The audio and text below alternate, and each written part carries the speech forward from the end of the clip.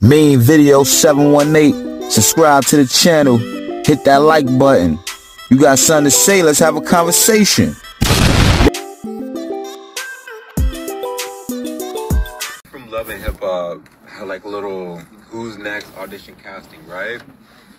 And I feel like somebody drugged, like put something inside those drinks or those shots last night because thank God I was able to get away and like, you know, call my sister for her to pick me up and stuff. And I'm not blaming Tommie or anything because the whole time Tommie was sitting down.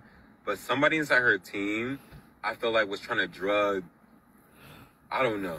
I don't know. I don't know. I don't know. I just know I had one drink last night that was this fucking small from her production team and start fucking losing my mind and I needed my sister to come pick me up. So if anybody was there last night because I really didn't know really anybody like that, you feel me? A lot of people didn't know each other, but if you guys come across this video, hit me up because I'm just trying to see something. Because I know other people start feeling weird too, like they're gonna faint and pass out. And we just all thought it was because it was hot.